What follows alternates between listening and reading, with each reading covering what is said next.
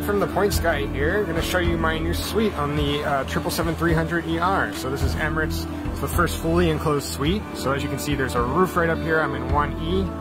And go inside. Um, I have a center suite, which means I have virtual windows. And this is pretty cool. So there's cameras on the side of the plane and it's actually projecting to these uh, LCD panels right here. Got a little touch screen that I can use and there's a camera there. I can communicate with the flight attendants to place an order. I've got uh, this rating kit here. There's a mirror, vanity, some Dom Perignon champagne, uh, snack basket. We've got uh, mini bars. There's two on this aircraft. Big 32 inch screen.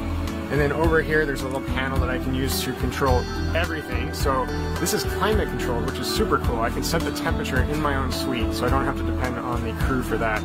Uh, I can also adjust all the lighting. So there's custom colors. Uh, I can change the lights to blue, green, and you can see them right there, and then also overhead. So very, very cool.